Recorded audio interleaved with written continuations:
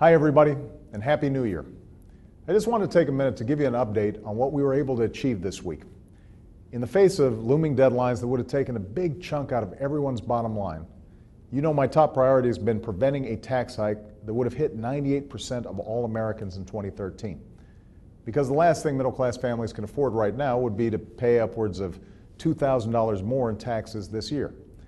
And thanks to so many of you, because you made your voices heard throughout this debate, we've stopped that middle class tax hike. But we didn't stop there. We extended tax credits for families with children and tuition tax credits that are helping millions of families pay for college. We extended tax credits for clean energy companies that are creating jobs and reducing our dependence on foreign oil. And we extended unemployment insurance for 2 million Americans who are actively looking for a job. Now, ever since I took office, my preference has always been to reach a bigger agreement that solves our whole deficit problem in a balanced and responsible way. Uh, I'll admit that hasn't always been easy as I had hoped it would be.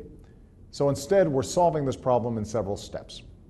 Last year, we started reducing the deficit through $1 trillion in spending cuts.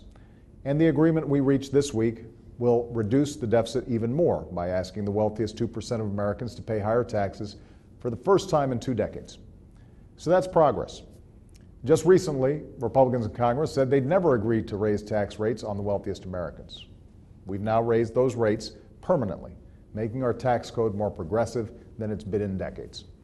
Obviously, there's still more to do when it comes to reducing our debt, and I'm willing to do more, as long as we do it in a balanced way that doesn't put all the burden on seniors or students or middle class families, but also asks the wealthiest Americans to contribute and pay their fair share. Once we get this done, we can get to work on the issues that will determine whether America prospers, not just in the next four years, but for the next 40 years.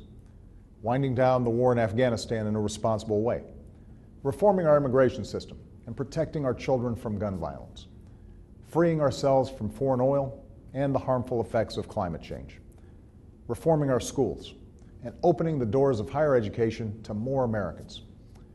In other words, making sure this country remains a place where you can make it if you try. I know many of you devoted much of this year to our campaign, and I want you to know how grateful I am for that. But I hope you stay involved, because just like four years ago, winning an election won't bring about the change we seek on its own. It only gives us the chance to make that change. What we fought for in 2012, we've got to fight just as hard for in 2013.